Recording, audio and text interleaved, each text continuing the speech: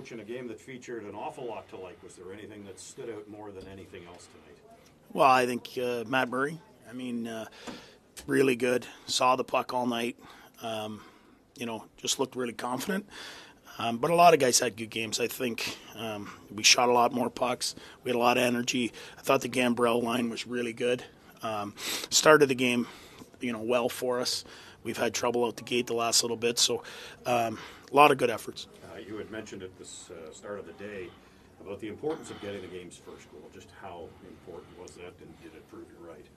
Yeah, for sure, and just the way we played the first period of of having we had legs tonight for sure. Um, you know, we were jumping, we were shooting, we were on pucks, we were above. We didn't take a lot of penalties and let their uh, top end guys get into the game. Um, and when we did make mistakes, Murr was there to, to, to save it. Was Matt's game an extension of what you saw in practice this week from him? Yeah, absolutely. I, I, I think the last little bit, he's really looked good in practice, as good as he's looked since he's been here. He's put a lot of time in, and it's good to see a guy get rewarded. He's obviously had a uh, tough time, um, you know, and it's really good to see him get rewarded tonight. Uh, DJ, pair, pair of first period goals from uh, Nick Paul. Just how good was he tonight? Really good. Asking him to come to center. Um, you know, after you know we kind of hung him out at the start of the year, making him play center all the time, and uh, he did a heck of a job. He, you know, he shot pucks. He was big. He was strong. Um, he did, he did everything you'd want a, a, guy to come back and do, and and, and uh, he was arguably our best player tonight. Uh, Drake gets his 10th of the year, obviously a big day name to the All, to the All Star game. Just kind of you know your thoughts on Drake and his deserving nod to be playing in the All Star game.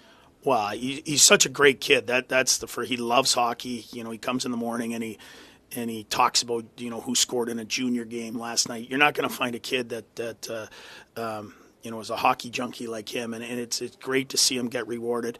Um, you know, I'm, he, he's not a first round pick. He's a guy that's, um, you know, been developed the right way here, and uh, he, he, continues to do great things. Guys love him.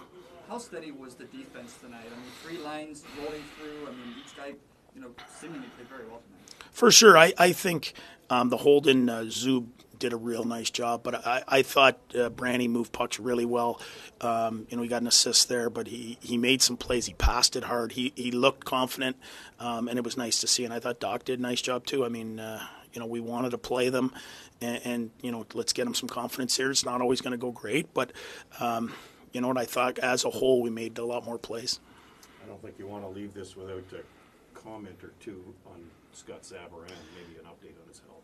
Yeah, uh, dislocated uh, finger, um, you know, for now, and uh, you know that that's uh, takes big guts. Luch is one of the toughest guys in the league.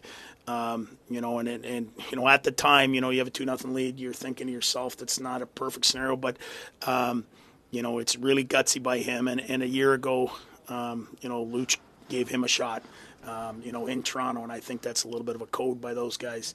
Um, and I think that's what happened. But it was good that our guys kept their focus, uh, didn't let the, you know, that spark them, and uh, and uh, our guys did a nice job.